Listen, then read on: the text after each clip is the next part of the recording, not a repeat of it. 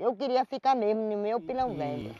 Em 1875. Mamãe, quando eu nasci, dava aula de violão. O ano eu não tenho certeza, né? O meu nome é Antônio Caio Gomes Pereira Filho, vulgo Caíto Maia. É até esquisito porque às vezes as pessoas né, perguntam, mas você tem dois nomes, né? Do que já teve de confusão das pessoas emitirem passagem, sabe? Tipo, ou na porta de, de, de se eu sou convidado, no nome na lista tá, tá lá Caíto Maia, eu falo, mas qual é o Caíto Maia? Eu vou mostrar a identidade e as pessoas falam, não existe. Não, mas é que eu tenho dois nomes e tal. Caíto veio do seguinte, eu sou Caio. E a minha mãe, ela, ela, ela falava, ah, mas ele não é Antônio, ele não é Toninho, ele não é Tonhão, quero que chame ele de Caíto. Então ela me deu essa força, falou Caíto, Caíto, eu acho que eu gosto de Caíto, tenho cara de Caíto.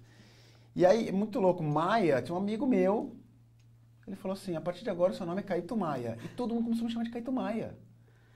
Umas coisas que não tem explicação, sabe assim? Foi no colégio, na escola, no, no, no segundo colegial, assim, um amigo falou assim, a partir de agora o seu nome é esse. Eu falei, tá bom. Aí todo mundo começou a me chamar, eu falei, então Caíto Maia. Tem umas coisas loucas, assim, tipo, que vão acontecendo na sua vida, e você aprende que você tem que deixar fluir.